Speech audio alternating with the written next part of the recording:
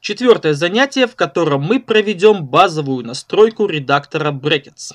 А, первым делом давайте мы перейдем в главное меню в пункт вид. И здесь, обратите внимание, сразу показываю, где скрывать боковую панель. Ctrl-Alt-H, либо вот здесь. Щелк, видите, да? Нажму я Ctrl-Alt-H, и она назад появляется. Дальше идем. Это увеличение, уменьшение шрифта, но это я вам уже показывал.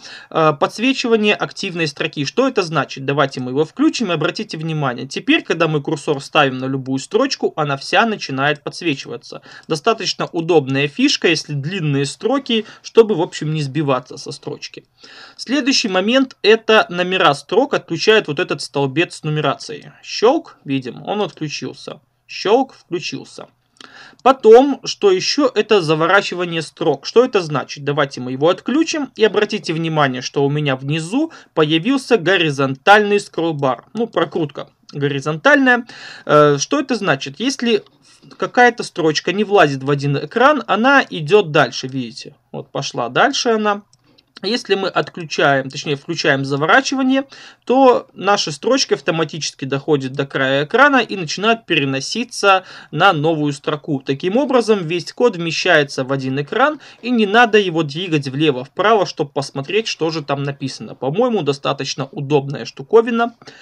Так, теперь э, перейдем к строке состояния, статус-бару, и видим, что изначально здесь показывается, где находится наш курсор. То есть строка 50, столбец 103. Давайте мы вот здесь поставим его. Строка 12, столбец 1.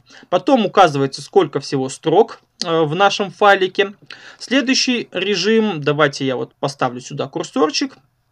Э, это вставка либо замена. Давайте я вот включу замену. И смотрите, ну, в общем, как работает ставка. Например, я тут размещаю два восклицательных знака, они сюда влазят.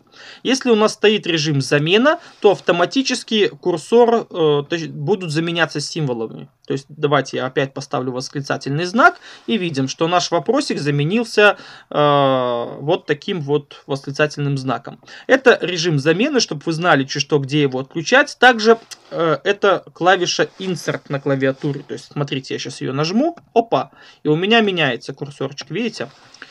Дальше указывается тип файлов, э, в котором мы работаем. То есть если программа по ошибке поставила не тот тип, то вы здесь можете поменять его. Видим, тут дофигища всего можно с чем работает наш редактор. И следующий момент это пробелы. То есть изначально стоит 4, то есть если мы нажимаем, например, Tab, то он перемещается ровно на 4 пробела. Если же мы здесь, например, укажем, сколько там, ну давайте я 9 укажу, э, и опять-таки вернусь назад, блин, сейчас я отменю, э, видите, опять-таки щелкаю бах, то уже начинает больше отступ идти. То есть вот таким образом все это дело работает. Итак, в принципе, теперь вы знаете немножко, где тут и что базово настраивается, и мы можем переходить к следующему занятию.